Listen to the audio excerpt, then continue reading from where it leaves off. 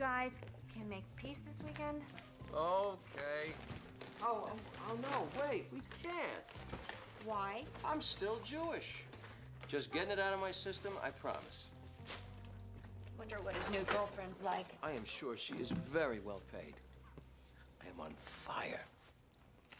Look at you, you're wired. Seeing your parents should make you feel guilt, not terror.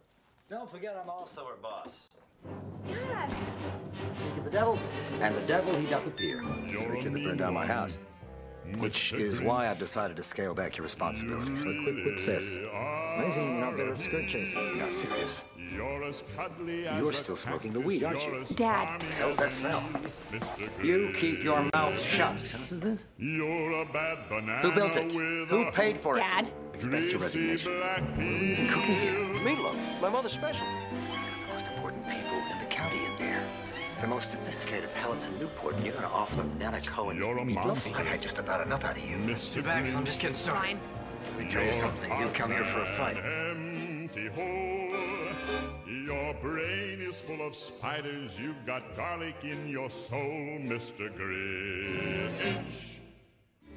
I wouldn't touch you with a 39 and a half foot pole. You're a vile one. Mr. Gamble, I have to ask you to Mr. leave. Grinch. Hands off. You wanna go? You go. have Come on, Sam, take it. in your smile.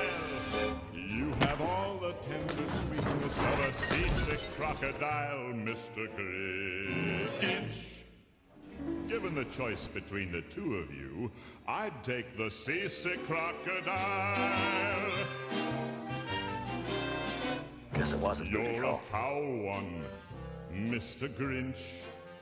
You're a nasty, wasty skunk. Your heart is full of unwashed socks. Your soul is full of gunk, Mr. Grinch. The three words that best describe you are as follows, and I quote Stink, stank, It's about your father. You're a What is runner, it?